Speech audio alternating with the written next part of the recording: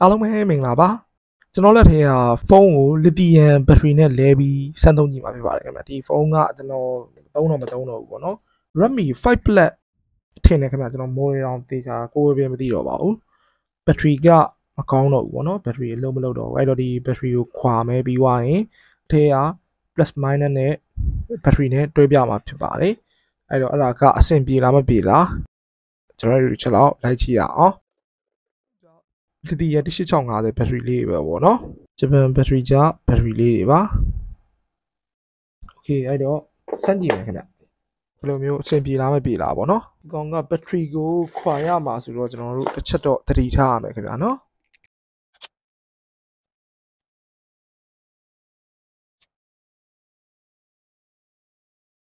ခွာတာလေးလွယ်ပါတယ်အပေါ်အဖက်လေးကိုလှန်လိုက်ရုံပဲခင်ဗျဒါဆိုရင် ငုတ်လေးပေါ်လာပြီပေါ့နော်ဘေးကအပေါင်းနှုတ်လည်းမသိဘူးခင်ဗျကျွန်တော်မီတာထောက်ပြီးတော့တစ်ချက်ဆန်းကြည့်ပါမယ်အပေါင်းနှုတ်တော့မှန်အောင်တက်ရမှာပေါ့နော်အပေါင်းနှုတ်မှိုင်းတော့ဖုန်းကြီးမှာပြတ်သွားမှာဖြစ်ပါတယ်တိုင်းမှာဆိုတော့ DC မီတာ20မှာထားပါမယ်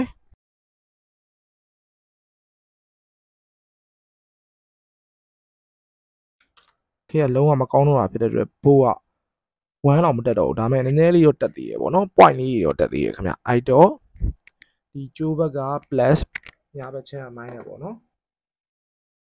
ပိုလီမာတခဲတွေကကောင်းလားမကောင်းလားဆိုရင်အချမ်းမင်းဘယ်လိုခွဲလို့ရသေးလဲဆိုတော့သူတို့အနှံ့ကရေမွေးနှံ့လို့တခဲကထွက်နေပြီဆိုဒီတခဲကမကောင်းတော့ဘူးခင်ဗျာနော်အနှံ့ထွက်နေပြီဆိုရင်မကောင်းတော့အခုဆိုဒီကောင်ရေမွေးနှံ့နေထွက်နေပြီသူစတီးပြပပလေးပါဒီမှာလေ battery plus minus လေးရေးပေးတာပါတယ်ဒီမှာတွေ့တာ battery plus minus ဟုတ်ပြီအဲ့တော့အဲ့အပြားပေါ်ခဲဆော်ကြည့်ပါမယ် battery မကောင်းတာတွေကတေချာကြွကြွလေးနဲ့ထုတ်ပြီးတော့ပြစ်တင်တယ်ခင်ဗျာနော်ဒီကောင်မကောင်းတော့နည်းထွက်နေပါပြီဒီတခဲက3.85 7 volt ပေါ့နော်ဒီလီသီယမ်တွေကလည်း3.7 volt အပြည့်ရင်4.2 volt ကြီးပြပါတယ်ပိုလီမာဘက်ထရီ capacity က3900 milliampere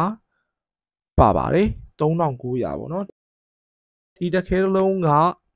အကြံမြင်2000မဲထားလိုက်ခင်ဗျာနော်သုံးလုံးဆိုရင်6000ပါ6000ဆိုတော့တကယ်6000ပြည့်ရင်တော့ပို့ပြီးတော့ခံသွားမှာဖြစ်ပါတယ်အဲ့တော့ကျွန်တော်နည်းနည်း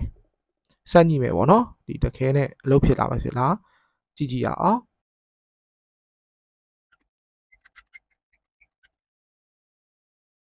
PMS ကက်နဲ့ဝါကျိုးနဲ့ကိုခဲဆော်ပါမယ်။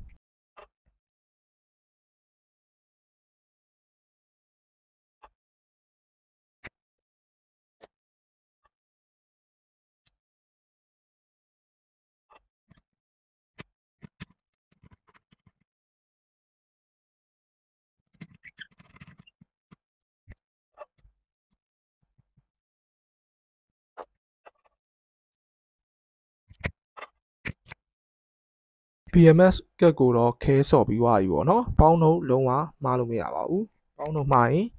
ဖုန်းမှာပြတ်ပါတယ်။ battery holder လေးယူလိုက်ပါမယ်။ four slot parallel holder လေးပါ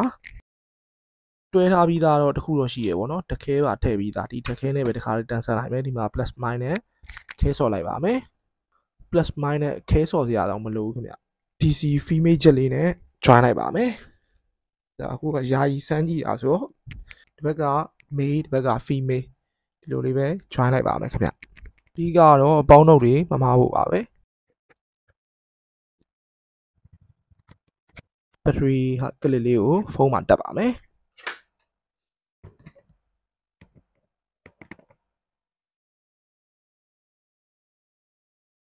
ကျိုးကမာနေဗျကွေးလို့မရအောင်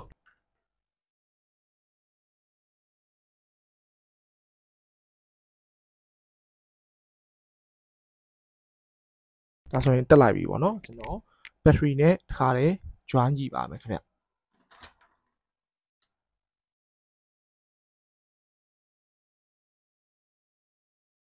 ကြည့်လိုက်ပါပြီ power ဖွင့်ပါမယ်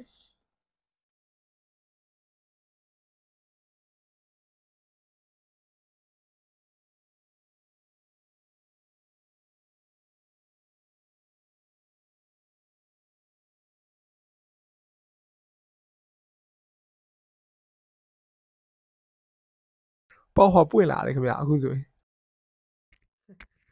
ကျွန်တော်ပြမယ်ဟာဘက်ထရီမရှိဘူးပေါက်ဟောပွင့်လာတယ်ခင်ဗျဒါပေမဲ့ဘယ်လိုပြောရမလဲဗျာသုံးရတာကြီးကတော့အဆင်ပြေမှာမဟုတ်ဘူးဒီလိုဘက်ထရီနဲ့သုံးရင်တော့တရက်လောက်ကတော့ easy ခံပဲဗျဟုတ်ပြီကျွန်တော်ဒီမှာချက် link တင်လိုက်မယ်ဘက်ထရီကဟိုဟာ62%ရှိတယ်ခင်ဗျဒီအောင်ညင်အောင်ကျွန်တော်ဘယ်လိုတွဲရမလဲစဉ်းစားလိုက်ပါဦးမယ်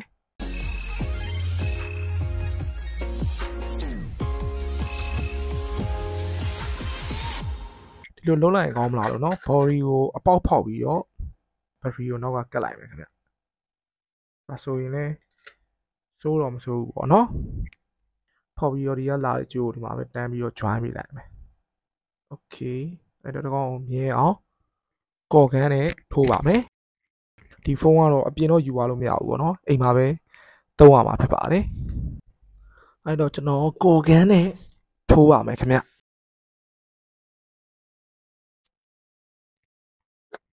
ကော်နဲ့ဒီ wire ကြိုးကိုမလုပ်အောင်တက်ပါမယ်ဘေးနားကမာသာဘုတ်ကကြိုးတွေမထီအောင်လည်းနဲ့တော့တတိထားပါတော့อืมဒါဆိုရင်မစိုးဘူးခင်ဗျပန်ကန်လေးကိုချုပ်ဝအောင်အေးပေးလိုက်ပါမယ် အပေါက်လေးဖောက်လိုက်ပါမယ်ခင်ဗျာမထိုးတော့ဘူးပေါ့နော်ဒီက32 frame ပေါ့နော်ကော်ဆိုရင်တော့ heat gun နဲ့ဖောက်လိုက်တာလည်းရပါတယ်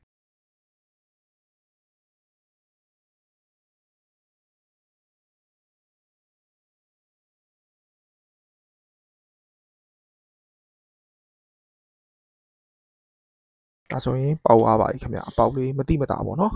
အပေါက်ပေါက်သွားတာဖြစ်တဲ့အတွက်ကျွန်တော်ကြိုးထည့်ပြီးတော့ဖုံးကြည့်ပါမယ်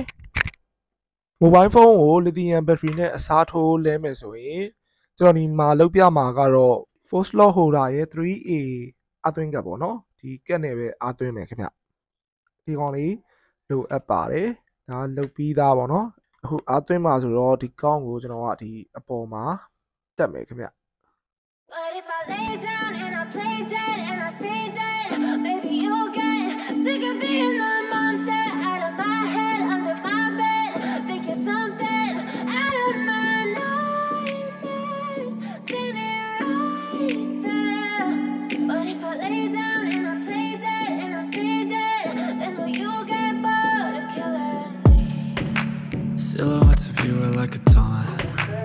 Never really know just what you want. With you, I don't ever feel calm. I can feel the sweat inside my palms. Play with me like cats and a string. You don't understand the pain it brings. You don't ever wanna give me wings. You don't ever wanna set me free. You know I'm addicted to you. And it's twisted, you've been gifted with the evil voodoo. Got me coming back for more, even when I've been screwed. Dolls full of pins, pierce my heart straight through. Got issues in my head. I like you in my bed, but you keep me on red. Oh, everything is like a test. I better not text or I'll come off desperate. But if I lay down and I play dead and I stay dead, baby, you'll get sick of being the monster out of my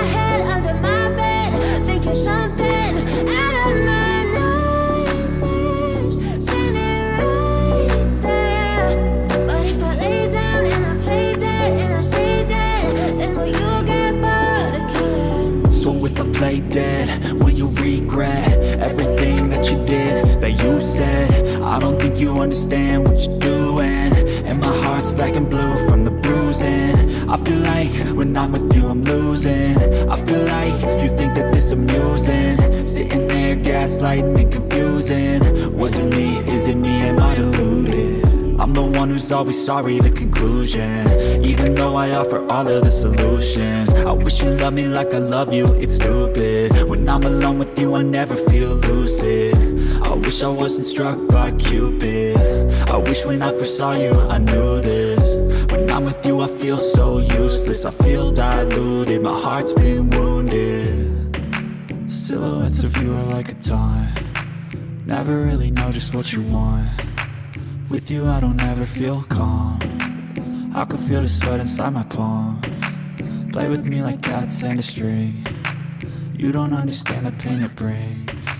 You don't ever wanna give me wings. You don't ever wanna set me free. But if I lay down and I play dead and I stay dead. ခုဆိုရင်အားက52ပါခင်ဗျ NCR ဘက်ထရီတွေကြီးပဲထည့်ထားပါတယ် အားကတော်တော်ကြီးကိုခံသွားပါတယ်ခင်ဗျ 3A ကက်နဲ့အသွင်းပါတယ်တခဲလေးလုံးနဲ့ပေါ့နော်ကျိုးလေးရဒီဘက်ထုတ်လိုက်ရင်ဒီပေါ့ပြားလေးဖြစ်သွားပါဗျဟိုကထောက်မစိုးဘူးဗျအဆင်ပြေပါတယ်သုံးရတာ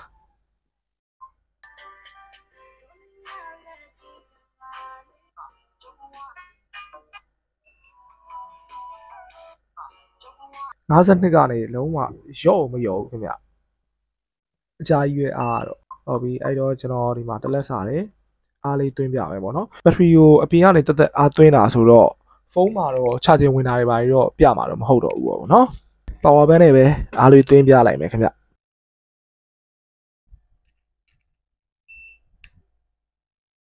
3 gig ကအသွင်းအနီးပေါ့နော်အပြည့်ဝရင်အပြလေးလေးမှာဖြစ်ပါတယ်ဒီတိုင်းလေးတင်ထားလို့လည်းရတယ်ခင်ဗျအားသွင်းပြီးတော့လေအကြိုက်သုံးလို့ရပါတယ် ဒီမှာတစ်ခုသတိထားမှာတခဲထဲတဲ့နေရာမှာ plus minus မှားလို့မရဘူးပေါ့နော်အဲ့ဒါလေးတစ်ချက်ပဲကျန်တာကတော့အားလုံးအဆင်ပြေပါတယ်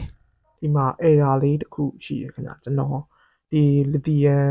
တခဲကအပြည့်သွားပြီเนาะဒါပေမဲ့ဖုန်းမှာကြတော့ battery percent 11%ဆိုပြီးတော့ပေါ်နေ percent ပြတာလွဲနေရပေါ့နော်အဲ့တစ်ချက်ရှိရဲဒါပေမဲ့ battery ကတော့အပြည့်သွားပြီဖြစ်ပါတယ်ပထမဆက်ဆက်တက်ခြင်း၃ညီတုံးอ่ะဆိုရင်တော်တော်ခံတယ်မြတ်တရက် နီးပါလုံး AC သုံးလို့ရတယ်အားတော်တော်ခံပါတယ်ဟုတ်ပြီအဲ့တော့ဆက်ပြီးတော့သုံးကြည့်လိုက်ပါဦးမယ်ဒီမှာအစမပြားလေးတစ်ခုရှိရဲ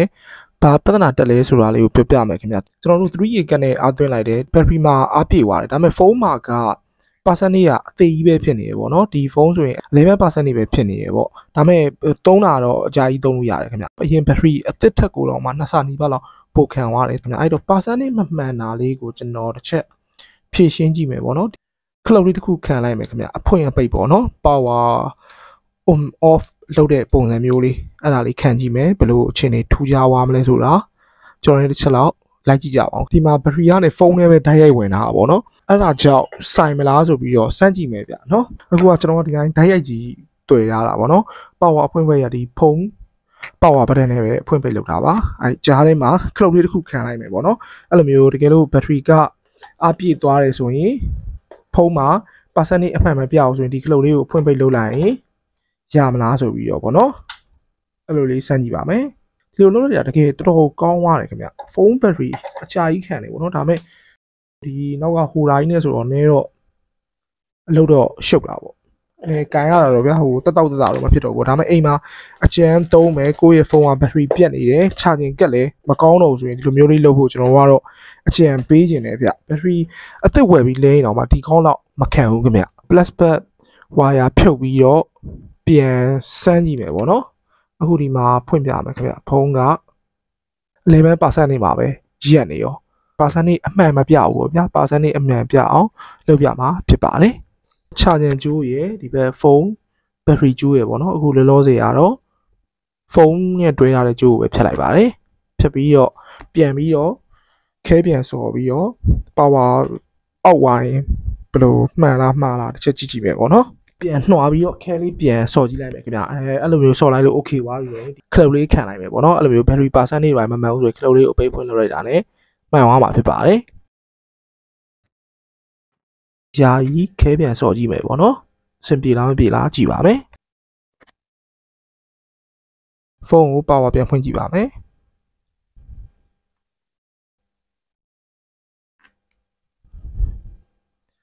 ဟုတ်ကဲ့ဒါဆိုရင် battery percent နဲ့အမှန်ပြသွားပါပြီ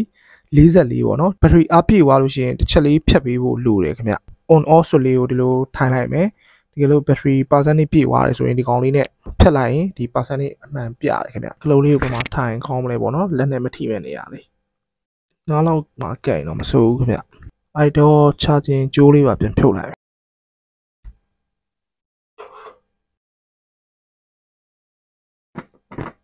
ကော်လေးတွေကိုကျွန်တော်နည်းနည်းလေးပြန်ချစ်လိုက်မယ်ပေါ့နော်ခလုတ်ထိုင်ရလားလို့လက်ဖြုတ်အောင် ခလုတ်ထိုင်ဖို့နေရာလေးရပြီပေါ့နော်ဒီလိုလေးတက်လိုက်မယ်ခင်ဗျ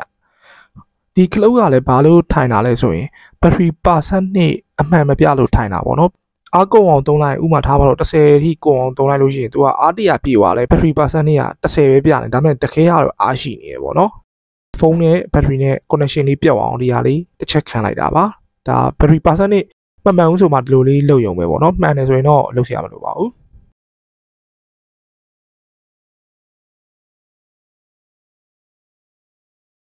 ညက်တဲ့ guide တန်လို့ပဲခေါ်ရမလားအသေးလေးပေါ့နော်အဲ့ဒါလေးကအရင်အသုံးဝင်တယ်ခင်ဗျတကယ်ချင်းလို့လည်းဒီလိုမျိုး click တာတွေပါဝါသနာပါတယ်ဆိုရင်ဒါလေးကမဖြစ်မနေဝယ်ထားတင်တယ်ပေါ့နော်တကယ်အသုံးဝင်လို့ပါ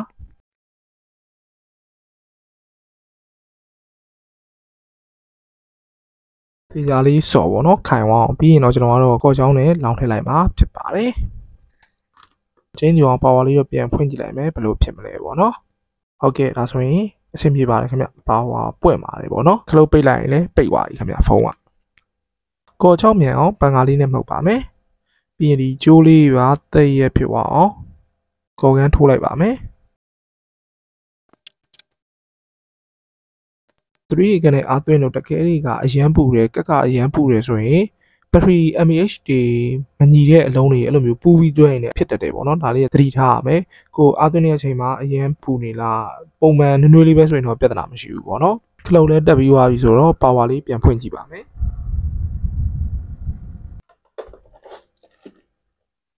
ဒါဆိုရင်ဖုန်း battery percentage ကမှန်သွားပြီဖြစ်ပါတယ်56%ပေါ့နော်ဒီကောင်ကသုံးလာတာဖြစ်တဲ့အတွက်100%ကြီးတော့မရောက်ပါဘူး ဒီဗီဒီယိုဖိုင်လေးကိုဒီမှာပဲရေးလိုက်တော့မယ်ကြည့်ရှုပေးတဲ့တကယ်ချင်းတယောက်ချင်းစီတိုင်းကိုကျေးဇူးတင်ပါတယ်အားလုံးပဲရွှင်နှန်းချမ်းမြေ့ကြပါစေ။